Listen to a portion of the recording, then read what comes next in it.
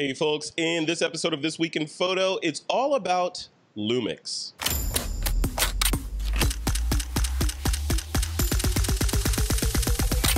This is TWIP. Hey, welcome back to another episode of This Week in Photo. I'm your host, Frederick Van Johnson. Today, we're going to be talking about a camera brand that's near and dear to my heart personally, and both of my guests, um, and that's Lumix. It's a camera. It's the brand that I shoot. I my daily driver is the Lumix G9, and I love that camera. I think the first week I had it, it was on the pillow next to me. You know, much to the chagrin of the other person but but I love that camera. It's amazing. Uh, but the other two guys on the show, Shiv Verma and Don Komarechka, are also in the Lumix family. And we're going to talk about. It's not going to be a, a, you know a Lumix love fest, but what I want to talk about is uh, just some of the new things that are coming out, full frame, etc., new lenses, adapters, etc. But also, I want to expand it out to the greater world of the mirrorless full frame specifically and the changes that we've seen over the last year. So let's let's dive right in. Let's start with the introduction. Shiv Verma, you're on the show. You've been on the show. It's been a while. You know, I was looking. Not, not, yeah, not that long, but long. But yeah, long, too Yeah, long. yeah, Let's say too yeah. long. But uh, no, it's good to good to be back. it Good is to be good back. to have you show. back. What what have you been working on, man? What's uh, what's going on? Well, with Shiv uh, just just finished with uh, Photo Plus Expo and uh, getting ready for another long uh, week over at the Crane Festival in Bosque, Mhm. which is uh, in about ten days. So uh, yeah, that's that's going to be the last big one for the year. And then uh, got a couple of trips lined up for next year, apart from the shows in Florida. Um, I'm going to do Vietnam that you never did. So Oh, good, good, good, good. That's yeah, cool. so You know, I love. Shiv. I love having you on the show. You know why? Because, like I always say, you are the adult voice of the show, but you have the coolest accent. You should read audiobooks. I'm telling you, it's awesome. I second that. thank you. Uh, but, but but to be honest with you, Frederick, uh, you should come along for Vietnam. Oh, all right. Well, let's talk after the show because Yes. you know Vietnam is Vietnam is near and dear to my heart. I uh, it's been a while. I need to get back to that. To that. Yeah, I was trying to convince uh, Tom Curley to to do the same, but he said he's already done it, and so he, he doesn't want to do it again. But I think it's worth doing a You- second time. like you, you've seen everything there is to see on an en- entire country. Come on. No way. never, never, never. Well, also on the show, Don Komarechka's here. What's what's going on, Don? Our neighbor up to How- the north.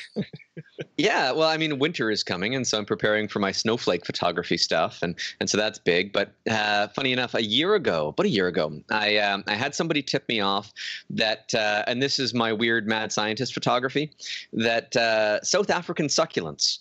They will fluoresce. The flowers of those plants will fluoresce beautifully in ultraviolet light and glow into magical colors. So I bought some, and now finally they are blossoming uh, a year later. And so that is an investment in time and effort.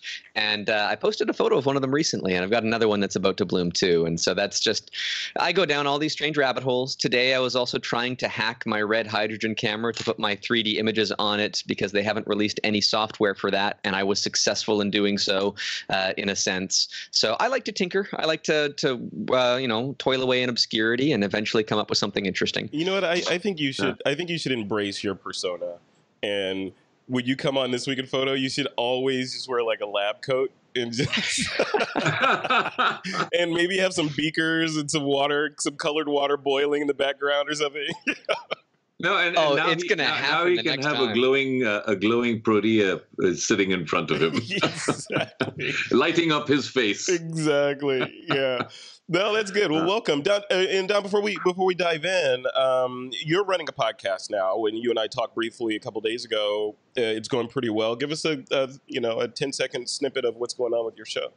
Oh, I'd love to. The elevator pitch is Photo Geek Weekly at photogeekweekly.com. It uh, we we try to find the geekiest, most technical news stories in the photographic industry on a weekly basis, and uh, me and a guest host discuss them, pull them apart, and find everything under the hood uh, that might not be easily discussable if you're just scratching the surface. So the last episode that we put out yesterday uh, was with Andy Ihnatko, and he is a wonderful, whimsically wise individual in the technology industry, and we had a great discussion. Uh, I always have great hosts. Uh, on there uh, with me to just totally geek out about photography. Love it, love it. Well, cool. Well, it's good to have you away from your show and back onto this week in photo for a little bit. So yeah, clean rooms and bunny suits. clean rooms and bunny. Yes. That's what you should have named your show: clean rooms and bunny shoot, bunny suits, and the occasional lens and camera. Love. Exactly. Cool. All right, guys. Well, speaking of lenses and cameras, let's dive into the topic du jour of this episode of This Week in Photo, and that is Lumix and the greater sort of ecosystem that's growing around mirrorless and the fervor around mirrorless. Um, let, us start with, um, and Shiv, I'll throw it to you first. I know you were you were speaking. Or you were in the in one of the booths. You were at the uh, the Hunts photo booth, right? In Right, Photo Plus right. Expo. Mhm. So you're familiar with the lineup. Both of you guys are all of or all of us are familiar with the new lineup. But why don't you take us through some of the the cool things from your perspective for your genre of photography that Panasonic and Lumix are doing with their new offerings, i.e., full frame. So, I mean, I think there's a transition from where Panasonic is right now to where they're going, and uh, you know, first of all, I think I think we need to dispel uh, any rumors that uh, have been floating around, and one of them being, oh, maybe now mirrorless uh, cameras and the Micro Four Thirds world is dead. Uh, clearly, I- I think you know people need to understand that folks like Canon and Nikon have had fundamentally two formats. I mean, the APS-C and then the full frame. Uh, the only distinction or sort of advantage they probably had between them is the fact that their lenses were compatible with both formats. The same lens can be used on either camera. Whereas with the Micro Four Thirds, the uh, size of the opening uh, you know, doesn't allow for the same lens to basically work on both systems. So you know, you come out with a new um, larger opening, and what's nice with Panasonic and what they've done is that rather than try and invent another brand new um, you know, lens mount system, to have adopted what Leica has already created, and the relationship with Leica, which has been you know there from the very beginning, uh, has has sort of structured a format that has lenses already out there. I mean, people say, oh, Panasonic's going to be coming out with three lenses. Yes, they're going to be three Lumix lenses, but that's not to preclude all the Leica L series lenses that are already out there. Sure. And then, unlike what happened originally when Micro Four Thirds came out and people started making adapters, uh, there are a ton of adapters already available for the L mount system that adapt a plethora of lenses.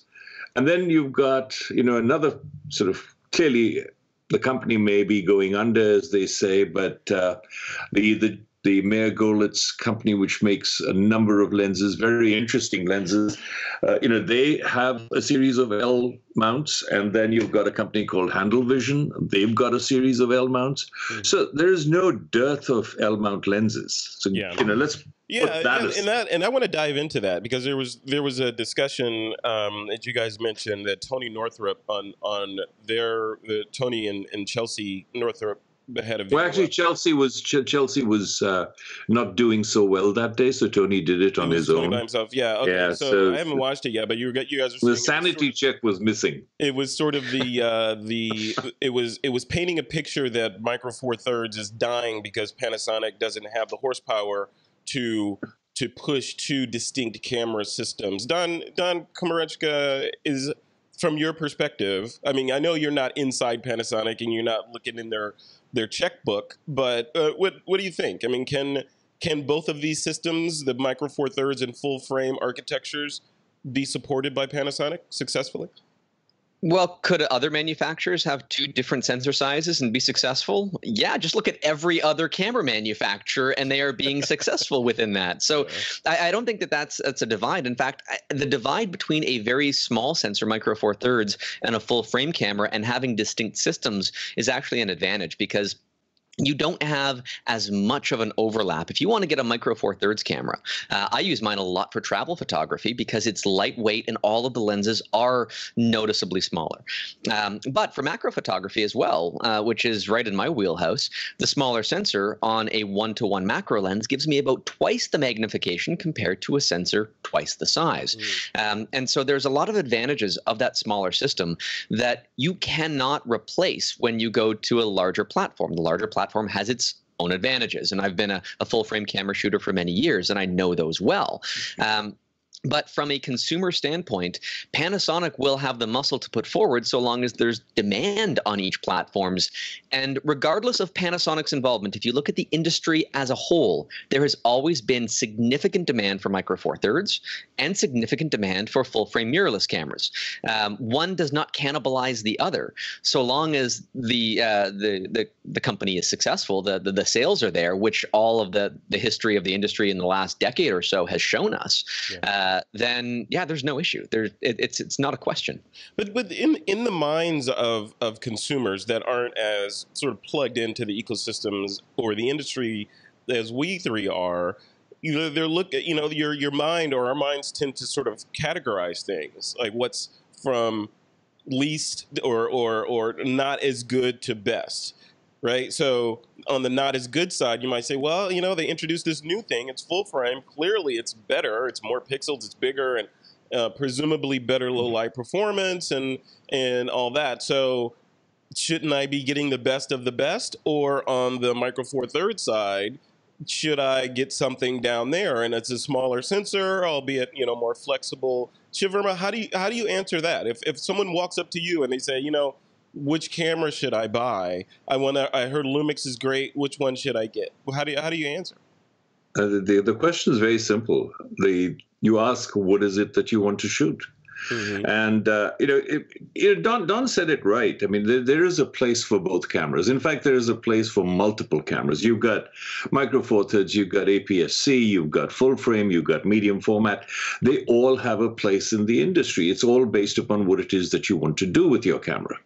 Um, you know, clearly, if if there is a full frame camera and if I was to look at the reason why I went to Micro Four Thirds was to go smaller, become more nimble, become more, uh, you know, flexible in the way I did things in nature and wildlife. So for nature and wildlife, I'm not necessarily going to use a full frame camera with large lenses.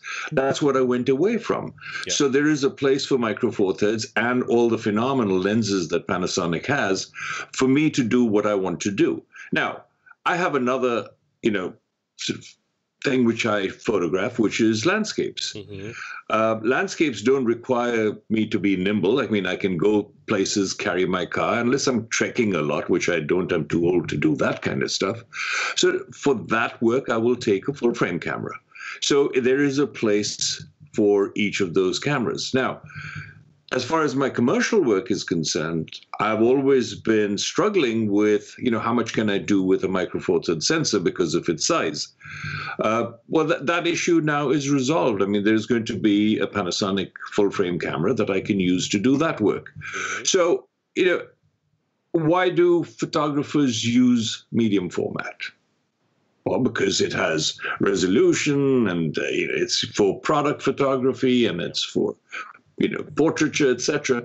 Well, there's a camera too. So I think as long as Panasonic stays ahead of the curve, stays with the kind of product that the market demands, uh, there's no reason for them not to be successful in full frame and to keep the Micro Four Thirds form factor alive. Yeah, yeah, and and hopefully to keep innovating on that. So, oh, so absolutely, absolutely. Don Don Komarechka, going to throw it to you. So the the lineup, the new the new things that are coming out from Panasonic that you can talk about, right? so there's there's new the new the new series of full frame cameras and lenses.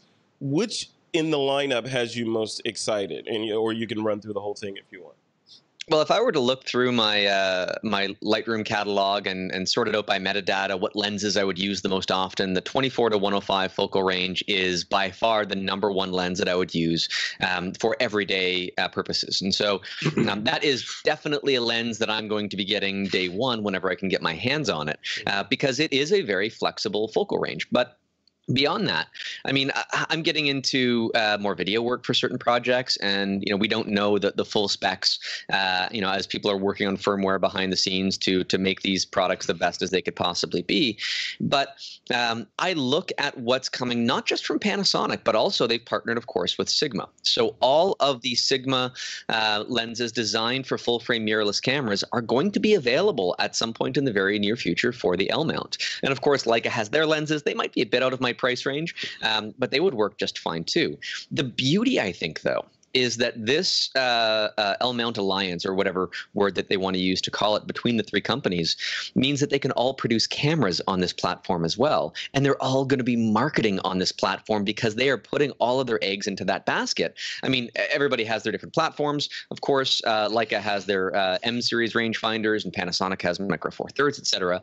But everybody's compiling everything into this one thing for a big push if you wanted to buy a Sigma Foveon full frame sensor, that's going to be an L mount camera, and you're going to get glass for that. And if you wanted to jump over and say, let's you know dip my toes in the water on a Panasonic uh, S series camera, I can do that. All of my glass is compatible.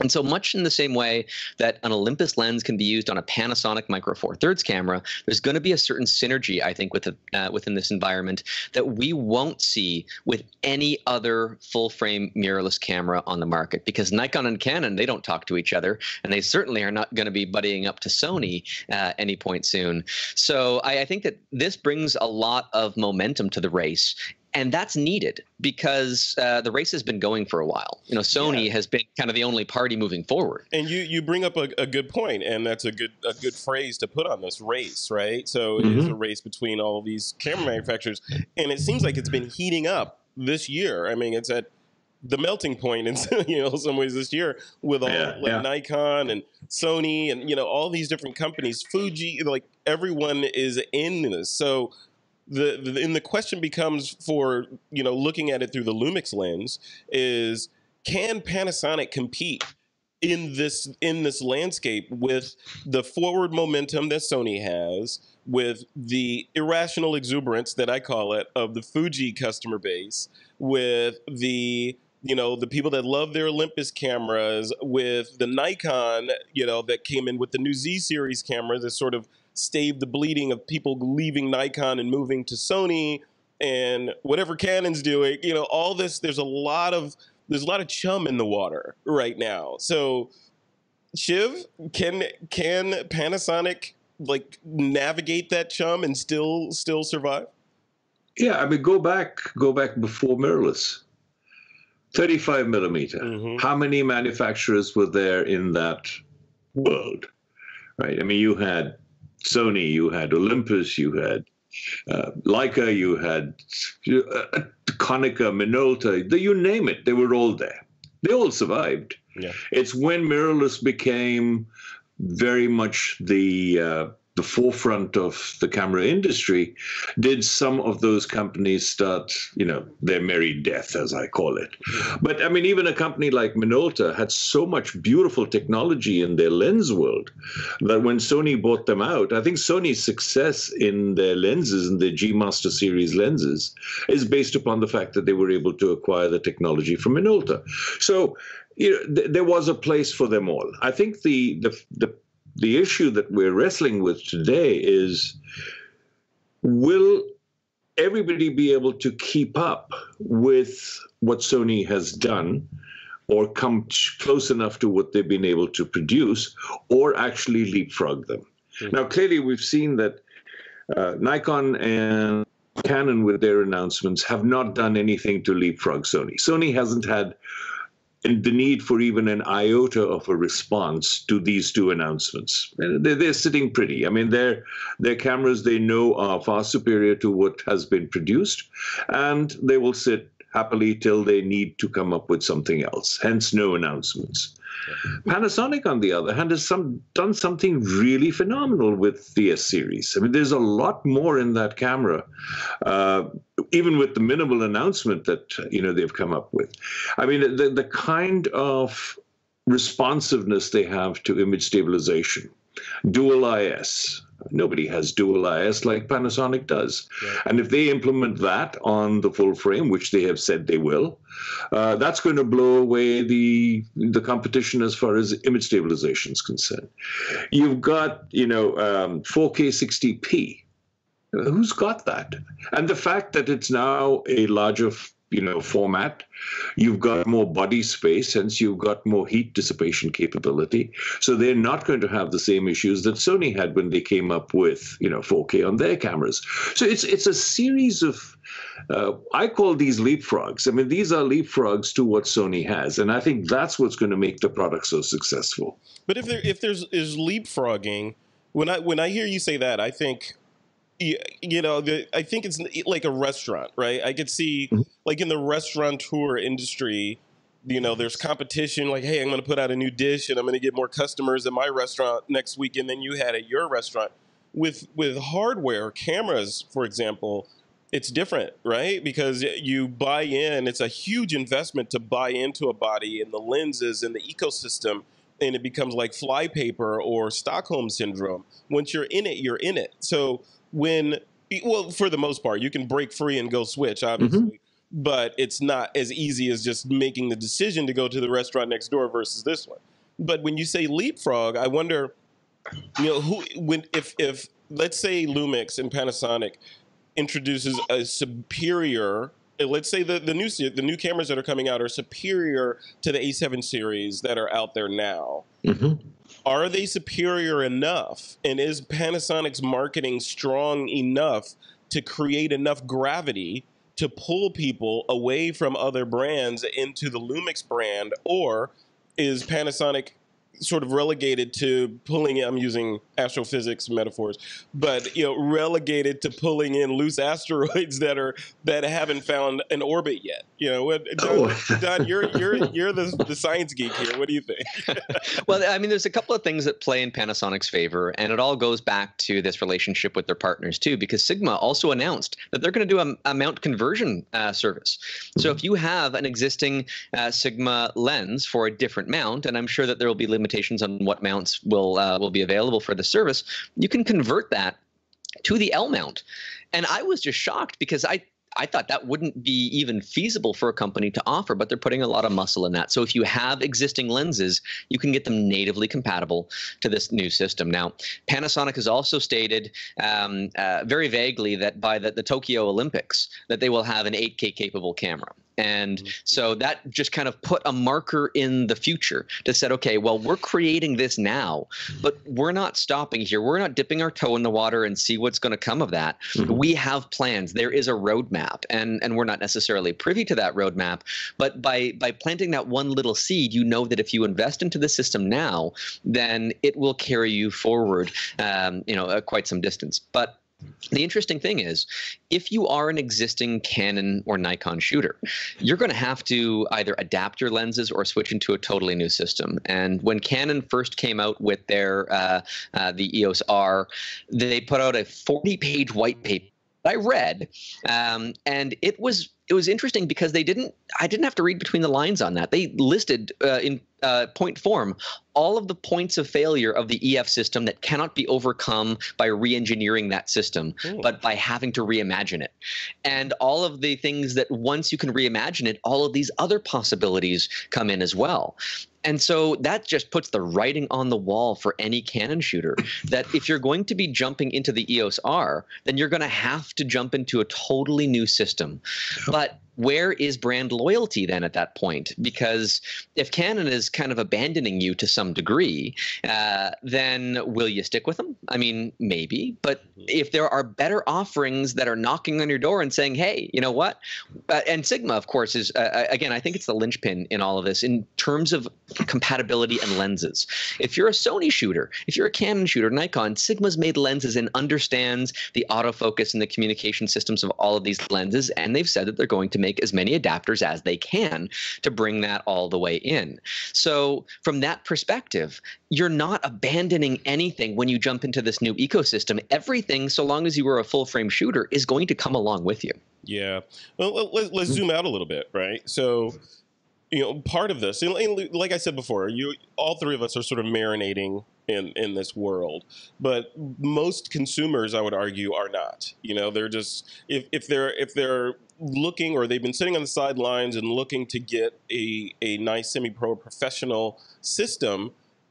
If if if it were me, I would be overwhelmed with analysis paralysis right now with all the choices that are out there. If you're if you got old, you're like, oh, I love this photography thing. I want to get into it, and all I have is this old, you know, film camera stuff in the closet, and I want to get into the, the new state of the art mirrorless stuff that everyone's raving about. And you start studying up how do you how do you make a choice? Like you know, you've got the Lumix, you've got all these different brands that are all saying that they're better than the other one. How do you make a choice on which one to go with?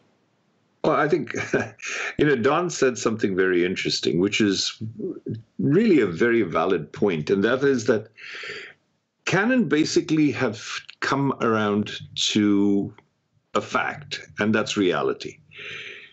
If you don't go to the Canon R system. The EOS R, the EOS previous as known, with all of the glass, etc., etc., is fundamentally flawed and thereby will die. Yeah. How long will it take for it to die? I don't know. But there are two kinds of death taking place. One is the fact that it's not mirrorless, and the other is that it is it's basically got some fundamental flaws. So if you're switching if you're going to switch from where you are today as a loyal Canon person mm-hmm. to something that's going to give you the same uh, image quality, the same sensor size, etc., etc., you have basically two choices: move to the R system and hope for the best.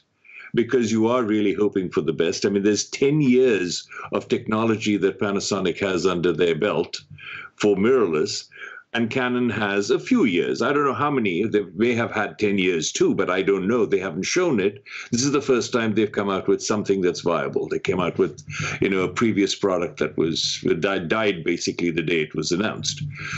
So, so if you're if you're a shooter looking to switch, where are you going? You're either going to Sony or Panasonic. Those are the two choices. Now, splitting the pie in two pieces, where the majority today may look like Sony, but tomorrow, when the S series comes out with all of its feature functionality, and we don't even know all the specs right now. Yeah. I mean, the specs could be far better than what we've seen. Sure. So I think people are going to wait till the product is actually fully announced before they start jumping. Uh, you don't want to jump to such a large investment and and not be sure of what you're doing. So I think that there's going to be a little bit of a wait, and it in fact it may in fact show even the Sony announced, uh, you know, definitely a very profitable quarter five percent increase is big for them. Yes. Um, who knows what the next quarter is going to be like? If it's stagnant, then you know what people are doing. You know what they're thinking. Sure. Nikon, on the other hand, uh, who knows with them? I mean, they've they've come out with a product that at least has been accepted by their base but it has other big issues. So who knows? Yeah, I'm not worried about Nikon space so much. It's, yeah, it's yeah, the, the, whole space is is eating up eh, or, or heating up. Don Don Komarechka, what what do you say? Like eh, the advice that you give to people, like I was saying. They've got they've got their old DSLR or their old SLR in the closet, and they want to move from film to digital, and they they're overwhelmed by the choice what what would be your your your advice? You're having coffee with this person, and they ask you the question, "Which one should I? Where should I go, Don? There's so much stuff out there. What do you tell them?" Well, if you're coming from the film era, for one, I mean, you're playing the long game for sure. um, so, uh, but but if we continue along that long game analogy, uh, you look at what Sony's doing with their E mount, and I saw a, a, really fun article recently that compared the actual diameters of all of these mounts, and the E mount was surprisingly tiny, uh, and I think Sony really had to do some engineering miracles to get a full frame camera sensor inside of that because the corners of the sensor are actually pretty much hitting the edge of the lens mount, wow. um, and that might limit some of your lens mount designs. Um, comparatively, and this was unusual. Uh, uh, Shiv uh, mentioned the Canon EOS M. You didn't mention it by name, but um, it's kind of on life support right now. Um, it actually has a mount diameter that is one millimeter larger than the Sony E mount. And mm-hmm. Canon is only ever producing APS-C sensors within that. So if you have a larger mount, and then you have more flexibility in how you design your optics without compromising them based on, uh, you know, the flange distance, which has been a big issue on the flapping mirror cameras for the longest time. And when that goes away, uh, you can make a lens um, at the same engineering cost much better, or at a lesser cost equally to what we're currently used to. Mm-hmm. And so I think that's a huge advantage moving forward is that the optics for the same dollar value are going to get better or if you're looking at what we have today, it just gets cheaper uh, in terms of what we can create. So um, if you look forward, a larger lens mount I think is better, and that's where I'm looking at uh, Canon and Panasonic. Uh, I think Canon has the biggest, but when you get so big at a certain point, and that rear element has to be much larger, it also changes the way you design optics. And there's it's not a bigger is better scenario. There is a sweet spot, uh, and I think that's why Panasonic teamed up with Leica when they saw their L mount instead of reinventing reinventing the wheel. They said, this is it. I mean, th- this is uh, as close as we're going to get to the, the perfect mount. So we're jumping on board. All right, so I'm gonna I'm gonna switch gears yet again, and and bring us back out of the the gears and and widgets cloud into more of the artistic side of things. So, but I'm gonna I'm gonna weave it in there cleverly. So we've got, like I was saying, we've got sort of a, a universe or a solar system of of um, gear and choices to choose from. And one of the interviews I did uh, just yesterday with Joe Edelman from, you know, he's an Olympus shooter, um, and and part of the discussion was was how gear can sort of obfuscate the the idea of creating art. In fact, he went so far as to say that he coined the term geartographer right? Where, and that's a person that is more obsessed with acquiring the latest and best gear and talking about it than actually making photographs with the with that amazing gear that they have. So, in that, in, under that umbrella, how what's the advice that you guys give to, and you know. You know, we'll throw it to you, Shiv, first. What's the advice that you give to a person that is saying, "Hey, you know, uh, I'm an artist. I want to buy this new system, but I'm I'm sort of getting confused and distracted by all this cool stuff that's out there. How do you get them to focus on just you know being an artist and looking at the hardware as a tool versus as an object of desire, like you know the Ring and Lord of the Rings? Uh, I'm going to say something which probably won't go down well with a lot of people. Right. I mean, if you have, you know, just gear acquisition, gas, just, that's it, right? Gas. Then you're not an artist. yes, then you're not an artist because all you're interested in doing is is buying gear uh, and hoping that the gear is going to do your art for you. Mm-hmm. Art is you. Art is not the camera. Art is not the lenses. I mean, they help. Uh, the, the best artist, you know, does he need to use a brush? No, he can use his fingers and create art. So you don't even have to have an external tool if you are truly an artist. And I feel exactly the same way as far as cameras are concerned. These are tools, they assist you in doing what it is that you want to do. If you believe you're an artist, then don't worry about what gear you buy. Yeah. It'll do it for you. So I agree. I agree. But you know, at the same time, and Don, I'll let you answer this as well. At the same time, you know, I I'm not saying that I'm on some cloud and don't have any of that gear that gear acquisition syndrome. I get as like, you know, you, you start having the reality distortion field and the well, let me see how much money I can, you know, I can squeeze that out of my bank account when you see these new camera bodies and new lenses and all that stuff show up. Don, how do you how do you manage that? And I, I I give this question to both of you guys because you're both accomplished artists, right? And you're not you're not geartographers. You're not looking for you know you're, you don't do it in reverse where you're like, hey, I'm to buy this piece of gear, then figure out how I can make stuff with it. It's I have a problem I need to solve. It's really both of you guys. I have a problem I need to solve, snowflakes or whatever, and I need a piece of gear that can do that for me. Let me go get that so I can execute what's in my mind's eye. Don Komarechka, what do you, what do you say to the whole gear versus art argument? That is such a gray line. And, and I'm going to give a couple of analogies here. Uh, my wife and I were recently in uh, Vienna, and we went into one of their art museums and we saw um, Klimt's The Kiss. And Gustav Klimt, uh, if you're not familiar with his work, look up The Kiss, a wonderful painting using metal, uh, golds and silvers and platinums and what have you. And it's a signature piece of his. But when you see it, it's massive.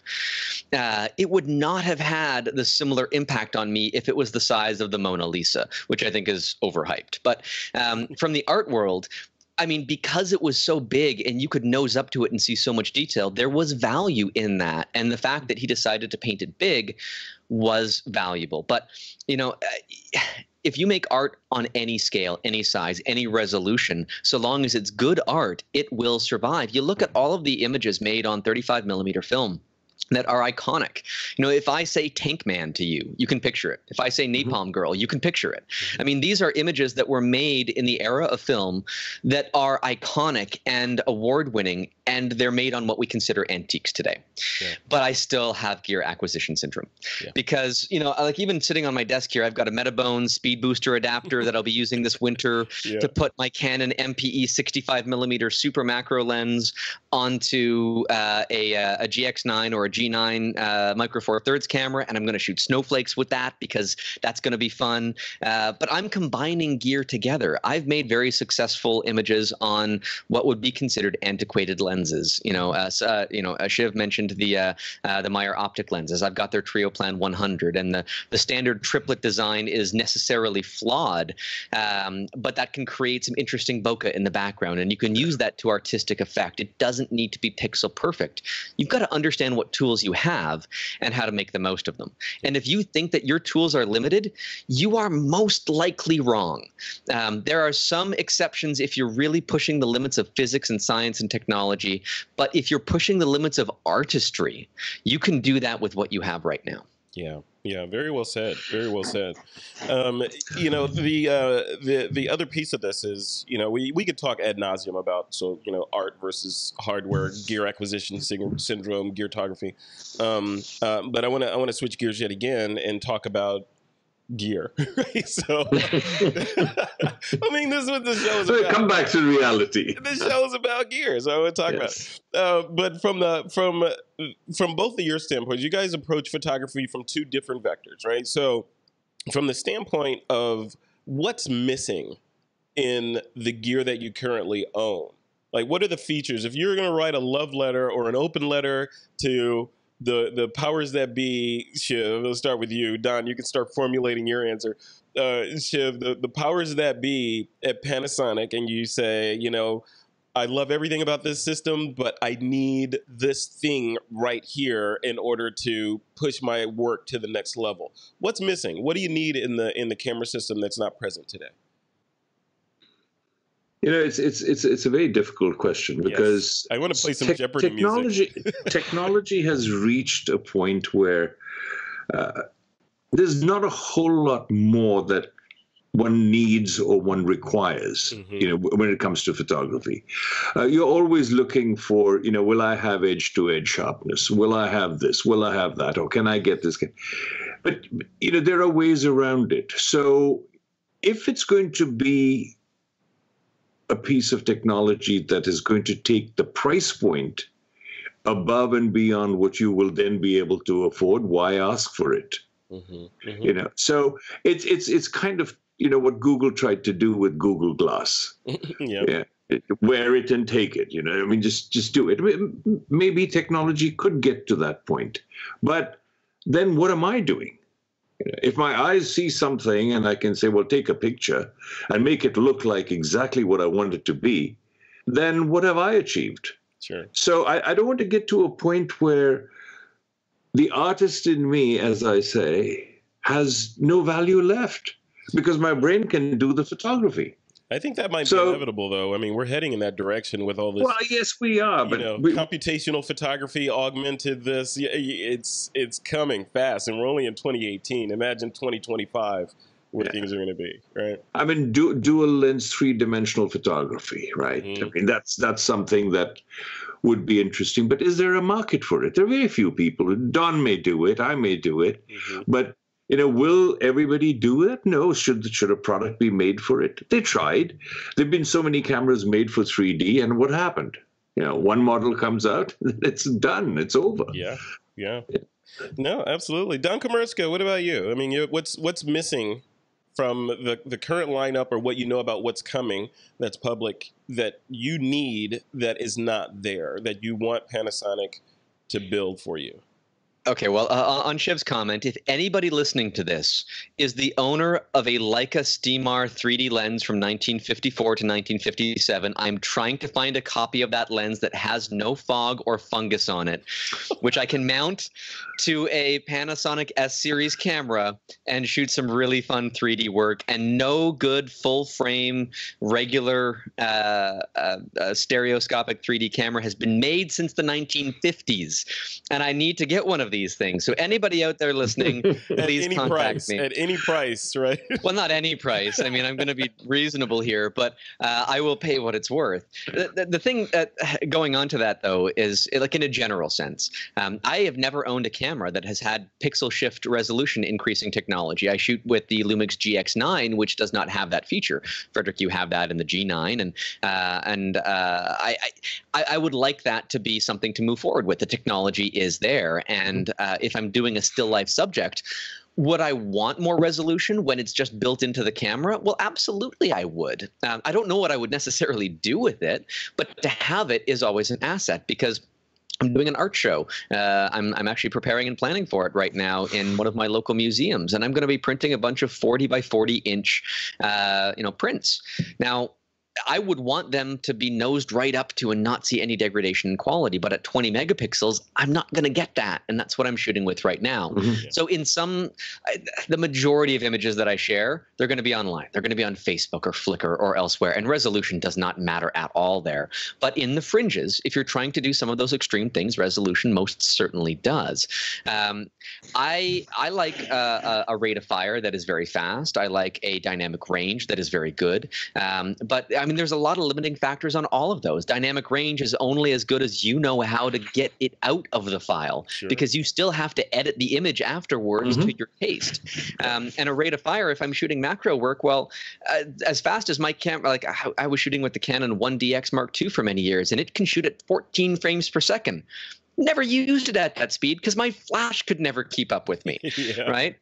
So, I mean, there's limitations all over the place um, that we're always trying to push into. And I, in fact, I just found, um, uh, was it Bolt, one of the third-party manufacturers for flash accessories and things, has a battery pack that I can attach to my ring flash that instead of having eight batteries has 12.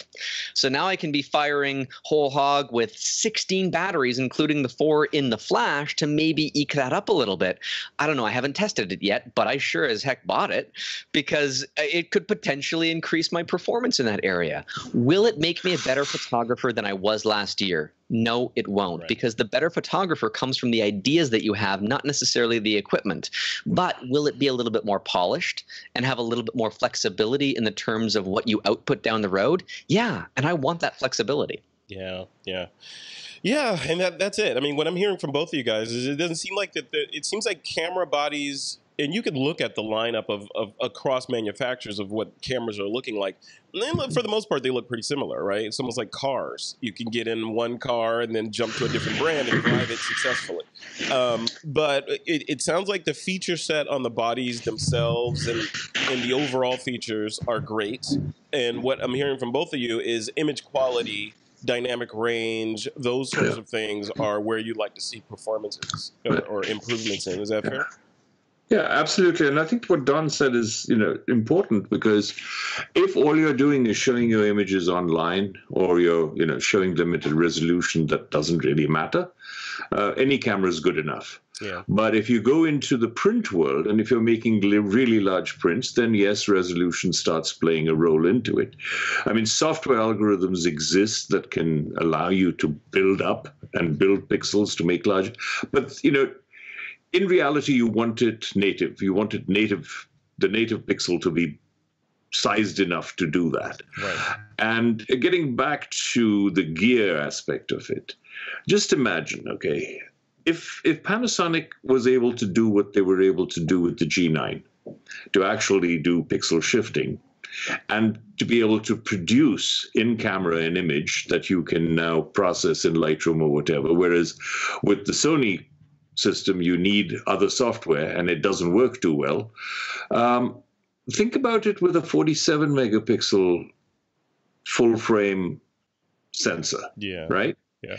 Now, it's got image stabilization, which means it can shift.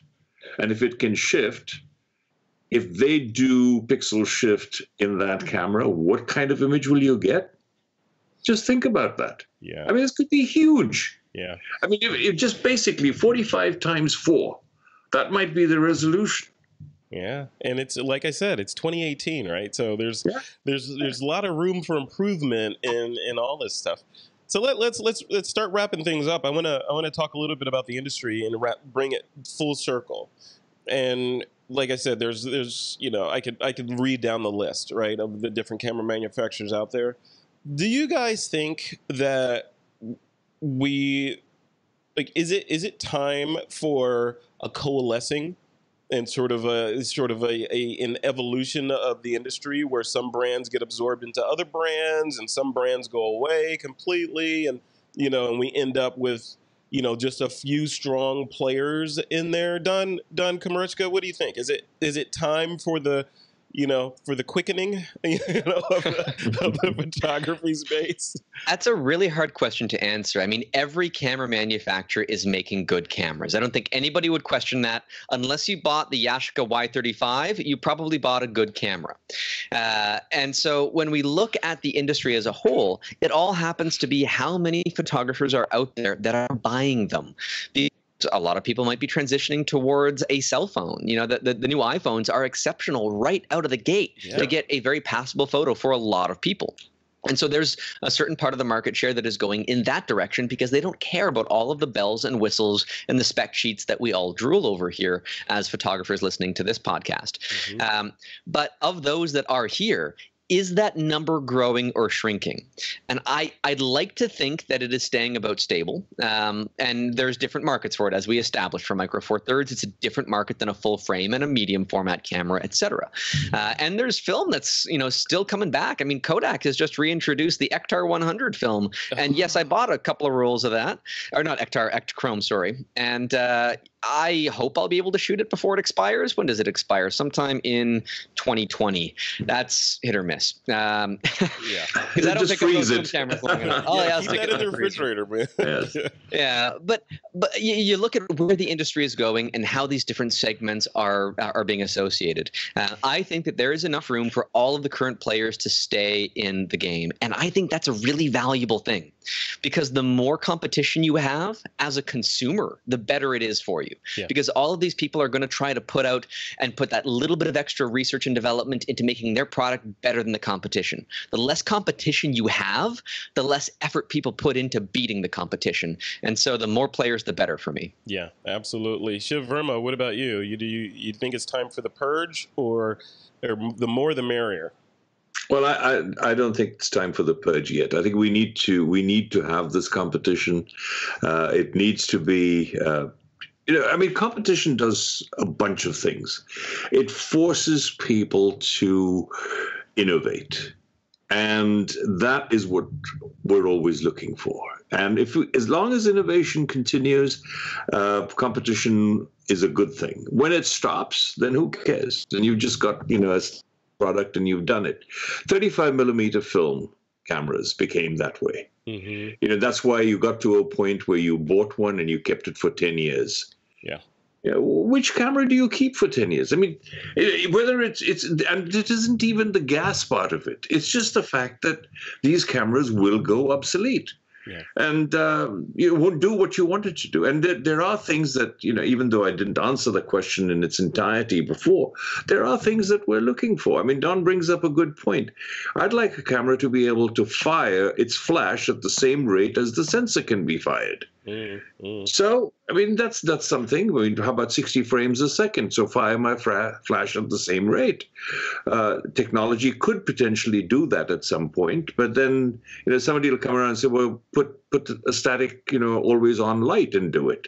Yeah, um, right. But it doesn't have the power. So you know, it's it's stuff like that. I mean, we're going to continue to innovate for a considerable number of years, and as long as that's in play, competition's good. Keep it there. Yeah, no, I agree.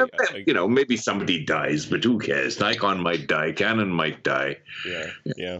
Well, that's evolution, right? So yeah, yeah, yeah we that, need it. Yeah, that's good. That that's thinning thinning the herd so that the strongest can survive. I, I think that's that's awesome, and I think. Um, you know, as as consumers, you know, you you you bring up a good point, Shiv. As we look at this stuff, it used to be back in the day that it was you're right you know every couple of years or so we would upgrade our cameras or whatever. But most of the important hardware all the hardware i have I, I, guess is important but most of my most used hardware i.e my computer my cameras my phone my tablet those things feel like they're on a subscription plan right? Yeah. Yeah. Oh, it feels like they're on a subscription planned obsolescence upgrade path. And I know within 18 months to two years, I'm going to get rid of it and it's going to pa- be passed either into the family or it's going to go somewhere else. And, you know, we'll, we'll have a new piece of gear there. So, well, but there's another thing that hasn't happened in the camera industry, uh, which might happen. So they, they come up with a firmware type of upgrade, which basically enhances performance capabilities, whatever, whatever. Mm-hmm. And just like Apple did, if your product is three years old, I'm sorry, this is not going to work on it. Yeah, right. So now you're going to be forced into, you know, using the newer product line because the older product line just can't do it. Yeah. What's worse is that now try selling that thing yeah. Nobody's going to buy it. No one's going to buy it. Yeah. And I'll tell you, I'll answer my own question because I asked I asked the question before about what's missing from from cameras or from Lumix or whatever that you'd want to have added in. So my request would be to have an app ecosystem and uh, always on cellular technology built into my camera kind of like mm-hmm. my phone in my tablet, right? So I want to be able to say, you know what, kind of like Sony did this with they they tried it. Well, Panasonic did that. They, they did it, but they had an, it was an Android based or something. I, I want something stronger, and I wanted Panasonic. You know, are you saying Android is not strong? Um, uh oh. I'm saying I prefer my iOS devices. That's what right. you know. I don't know Android, like so I don't know. on iOS-driven camera. Right, but wouldn't it be cool to be able to say to look on the back of your screen because we all have screens and say, you know, go in and say, hey. I want to do this intervalometer. I need an intervalometer that can do X, X, Y, and Z. Download it from a robust app ecosystem that is hosted by Panasonic and vetted by Panasonic, download it and run with it. Wouldn't that be cool? You could well, have everything that we want as photographers is what's coming out because we already have everything that we need. The wants are what drives the entire industry. Right. Yeah, yeah that's exactly right. Yeah, that's well, and and many things in life, I guess, is. uh, everything connected is through one place, and it's shivverma.com, www.shivverma.com. Just go there and have fun. Awesome. And Shiv, thank you for coming on, man. I appreciate it. It's always a pleasure to. Well, thank you. Thank you. Awesome. Awesome. Don Komarechka, man. What about you? If people want to get into the world of DonKom, where do they go? Well, much the same way, everything is linked to from one primary source, donkom.ca, D-O-N-K-O-M.ca. Got a bunch of macro photography workshops coming up in 2019 and an Iceland tour about a year from now in October 2019 that will be a lot of fun. You can find all of that at that website. And of course, as we mentioned earlier, photogeekweekly.com. It would be great to have anybody listening to this check that out as well.